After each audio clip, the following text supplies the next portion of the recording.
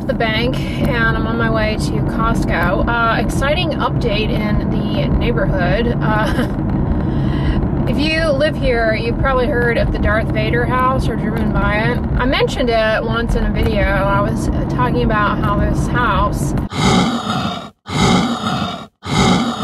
uh, it looks like Darth Vader, uh, and it's massive, but it's kind of creepy at the same time. Like it looks like a compound where you would go to, I don't know,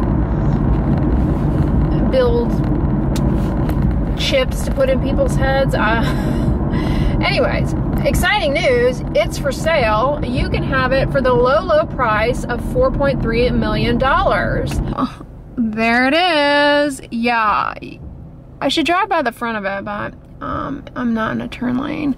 So you could see it on, uh, in the on the front. It actually looks like Darth Vader. And I was watching the like little realtor video of it. It's kind of cool on the inside.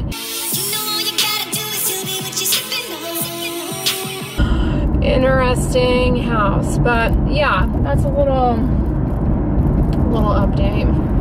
So I'm wearing the new Avene Mineral sunscreen, the non-tinted one. Um, you guys can get a sense of what it looks like in natural lighting. Pothole. Need to warn you guys of that because I know it's rattly. Anyways, uh, yeah, you can get a sense of what it looks like in natural lighting. I'm always getting a request to recommend mineral sunscreens without a white cast. Aside from the tinted ones, which even those can still leave a cast, you're not going to find a sunscreen that has zinc in it that will not leave a cast for somebody. Um, it just doesn't exist. And even the name, like I wish, I wish sunscreen manufacturers or whatever brands would stop saying sheer zinc. I think that really makes people pissed off because they buy it thinking it's going to be clear, like clear zinc, sheer zinc. You put it on and there's still a white cast. Like, don't fool people with that. Um, so yeah, you're not going to find a mineral sunscreen that doesn't have a bit of a cast. For me, even this leaves a cast, kind of a, a, cast. It's a little on the shiny side. You know what it looks like? La Roche-Posay came out with a sunscreen this year that's uh, SPF 30. It's a mineral sunscreen with hyaluronic acid. This kind of looks a little bit like that, but that, that one has less of a cast. This is SPF 50, uh, whereas that one I think is 30. I promoted that product over on Instagram it's actually pretty good if you're looking for a really moisturizing sunscreen, but it's obvious, you know, its selling point is that it has hyaluronic acid in it. I know some of you are easy, your skin is easily irritated by hyaluronic acid, uh, so you would want to avoid that if that's you. But uh, yeah, you know, people with hyaluronic acid, I feel like the ordinary, I blame. because I feel like they were one of the first brands where they really popularized all of these different hyaluronic acid serums and whatnot. I remember there was like a giant bottle they had at one point of hyaluronic acid. And it's it's a great ingredient in moisturizers and it certainly can improve skin hydration and plump up the look of fine lines and wrinkles. I love using it, but you guys have to bear in mind that I basically live in a in a water bottle. it's so humid here. So hyaluronic acid works quite well in my skincare. But people some people their their skin is easily irritated by topical hyaluronic acid especially excessive uh, you know use of it because it can increase penetration of other ingredients. And if you're using something that has an ingredient that's irritating uh, you know using it alongside hyaluronic acid increases that chance. Plus the smaller weight sizes in theory you know they kind of look like they're they're hyaluronic acid like fragments that when you have a skin have skin injury down in the dermis that gets released. And it actually alerts your immune system to kind of come in and generate the inflammatory response that is the initial part of wound healing um, so in theory putting it on your skin you know you might query if it gets into the skin deep enough, could it trigger that and cause irritation and inflammation? I've always wondered that. But you see, brands, they're not going to do that kind of level of, of, studying. So we'll never know. We'll never know how much I really care. Listen, do you wanna know a secret. Speaking of the ordinary, I was reading an article somewhere, I can't remember, on the top brands, skincare brands worldwide. Number one brand is The Ordinary. I remember when The Ordinary first became a thing, and people really put it on this pedestal, and they have continued to put it on a pedestal. And they have great some great products, don't get me wrong. But they have a lot of goofy ones too, and they always kind of they're see what set the ordinary apart when they came out is that they wanted to distinguish distinguish themselves as being a affordable and b very no nonsense like not you know trying to be super transparent as far as the ingredients and that they were evidence based and all of this stuff. And to a certain extent, I would say that's true with their products, but at the same time, they have a lot of goofy stuff in there too. People have a lot of trust for the ordinary. I think that's going to start dwindling, especially now that they sold the company to Estee Lauder. Um, but it's like they, oftentimes, they can do no harm. Like I can say in a video, hair growth serums are complete BS. But what about the ordinary? Like, like clearly the ordinary. Is, I think people put put the ordinary on such a pedestal that they think that there's going to be an exception when it comes to the ordinary. Um, and that's not true. Like their retinols all have that hydroxypinacolone retinoate thing. They were the ones who popularized using that and claim making people think that they that that was retinol and that that worked the same as retinol. Well, we have you know, no, it is it's like a retinol ester. Like no, it's not working the same. This person just tries to take me out here by pulling in front of me. So they are not always, you know, playing with 52 um, when it comes to the stuff that, that they have. Like, I can say that I don't have much faith in vitamin C serums. Well, what about the ordinary? Like, why would why would that be an exception? And the ordinary they're they're the ones that have that goofy vitamin C powder, like taking it even to a goofier level.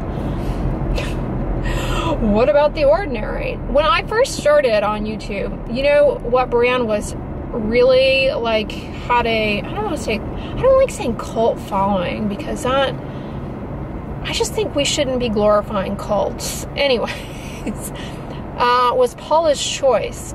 Every video I put out in the first, I would say, 13 months of my channel, we'll just say, I would always get comments.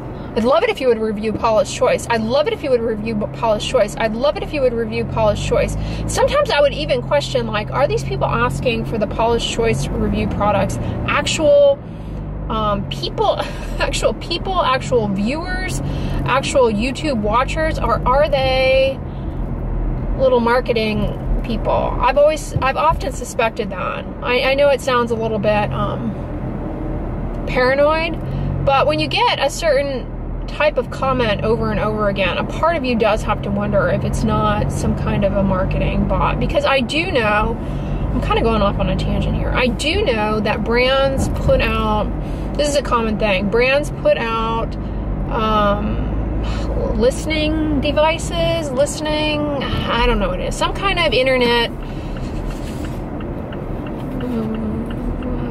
coding snake thing, some kind of internet coding caterpillar thing that listens on the internet and whenever their brand is mentioned they can chime in or you know be alerted to that. Uh, and i have always suspected that that can be used to promote your brand in this kind of subtle way through the comments section of videos. I, I, call me paranoid, but I feel like, you know, the comments section, it probably feels like to the viewer that they're just there as a watcher and everybody in the comments is like, it's like you guys are sitting in a movie theater together and you're just commenting on what you're watching. But I think, paranoid, but I'm telling you, from my viewpoint where I see the volume of these things, I, I do think I'm onto something. Um, I think that sometimes brands show up in the comments to make it seem like their product is where it's at and pretend, you know, they kind of act anonymous. Like, for example, they might say something like, well, I've been using this for six months. It is the best thing. You know, another, another product that was like that um, was the Australian Gold Botanical Sunscreen. Now, I know people love that. And personally, I don't have anything objectively bad to say about it on paper. It just caused a lot of irritation for me. But when I reviewed that a long, long, long time ago, I mean, I thought I was going to have to hire a bodyguard because there were people who were so livid that that didn't work for me. Um, that I was moderately fearful for my health. Um, uh, but there was so much bizarre enthusiasm. There was an individual who commented on every video and would comment on people's comments have you tried Australian Gold? Have you tried Australian Gold? And it's like, do you work for Australian Gold Botanical? Like, what the? This is my lug bag that I'm always raving about. Um, that I love. My I love my lug bag. It's my second one, and what I like about it is that it has the RFID thing on it, so people cannot um, scan your bag and steal your credit card information. But what I have noticed is that I like to listen to, what is it, Spotify? I listen to podcasts in the car. And if I have my phone in the RFID part of it, or if I have my phone in my bag, period, it will not connect to the uh, to the Bluetooth audio in my car. Um, so I have to have my my phone out, and I think it's because of that RFID stuff. I think it blocks the signal for the Bluetooth for Bluetooth, um, and yeah, I don't know why I felt compelled to tell you guys that. Like you. I, I oh my god, you guys, the Disney short pajama sets are back. Definitely snagging these because they are incredibly comfortable. Should I get these with Minnie? I'm not like a Disney person. Um, as a matter of fact, as a child, I don't really recall being that into Disney movies, but these are so comfortable. Highly recommend them. These faux wicker baskets are nice with the handles, 19.99, dark brown and what is that? Ash. Ooh, a faux leather desk set. Just what I don't need. it's nice. It comes with like um, a thing for file folders. How cute is this pasta? it looks like it's dyed with beet, tomato, and spinach, and curcumin for the yellow. Well, hey guys, I am obviously back from Costco and running errands and I just went for a run on the treadmill and I'm gonna stretch it for a bit, but I wanted to show you guys this. I ordered some stuff from Avene and I got a free tote and it's so cute. I don't know if you guys can see. It's got these little swimmers on it. I just thought it was adorable. It's actually a pretty nice tote for like the beach or whatever, or like the pool. Um, and it doesn't have tacky branding all over it. There's just a little thing here that says in the corner, says Avene. Um, I thought it was cute. It was free with um, sunscreen purchases that I made. So yeah. While I don't wear makeup, once upon a dream, I bought makeup when I was a ballet dancer and I would, I would always buy Clinique makeup because it was the only makeup that didn't aggravate my skin for ballet. And I I would wait until they had a good free gift. They always have the best like little gift bags. So yeah. I also got a little free sample of the Retrinal 0.1. Um, this is their retinaldehyde cream. It's really a good product. Um, so I got that and then a little thing of the Cicalfate Plus, um, which is a good moisturizer. So yeah, tea time. I'm gonna make one of my tea lattes here in my Secura milk frother. I love this thing.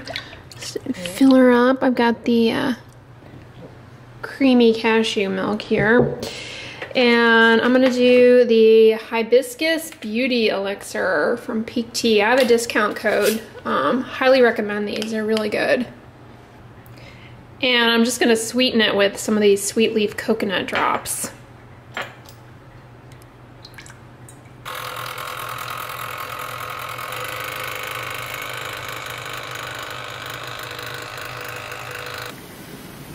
My one gripe with this milk frother is that it's supposed to make like hot chocolates and stuff, but it doesn't hold very much milk to do that, to like make a full cup. So I just boil some water on the side and bring it up in water and it comes out perfect. Yeah, this is seriously one of my favorite Pique Tea flavors, the Hibiscus Beauty Elixir. It's really good. Especially good with the uh, coconut stevia. Well, hey guys, I just got out of the shower and I'm gonna put on my Retin-A here. Um, for my moisturizer, I actually put on this Rovectin. I think I mentioned this, was it this one I mentioned? This is one of the Rovectin moisturizers I happen to like and it's really good. I use it on my face and body. Um, it's great. It's pretty lightweight, but it does a really nice job actually sealing and hydration and kind of gives the skin a healthy glow. I can't remember all the ingredients in it, but I know that it has good ones. um, check out my video on Korean skincare that I'm loving. One of my recent K-beauty videos, I reviewed it.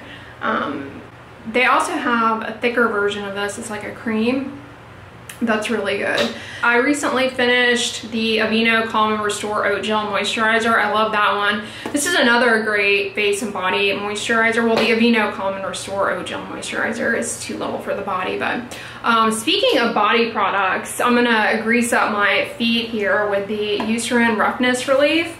This has been awesome for my heels and whatnot. Anyways, what I was saying earlier guys are like, where is she going? I'm greasing my feet.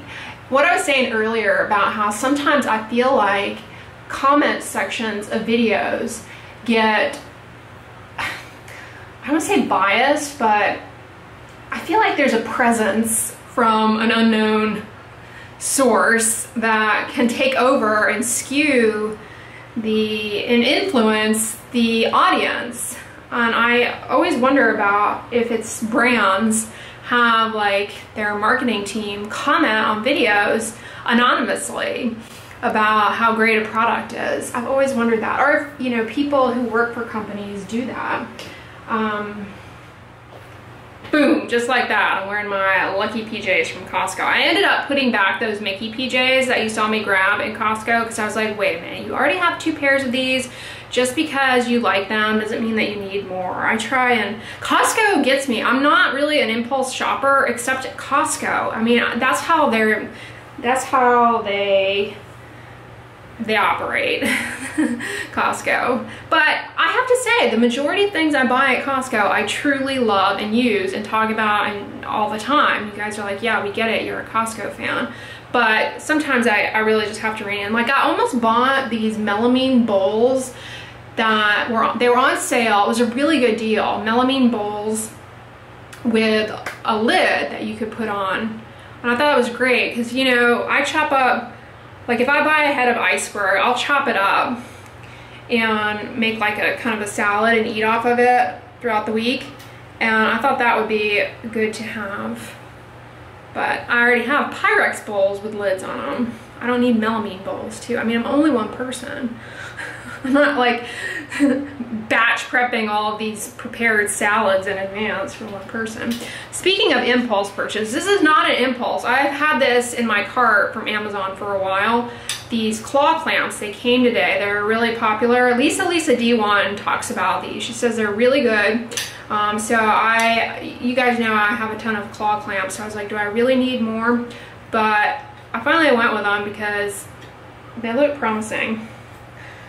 I like that they are so long too.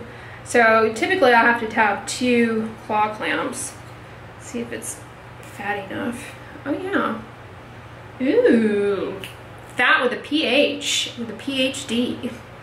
I don't know who I am. Anyways, guys, I'm gonna wrap up the vlog here. Thank you so much for making it to the end. I greatly appreciate it. And if you guys like this video, give it a thumbs up, share it with your friends, and as always, don't forget, sunscreen and subscribe. I'll talk to you guys tomorrow. Bye.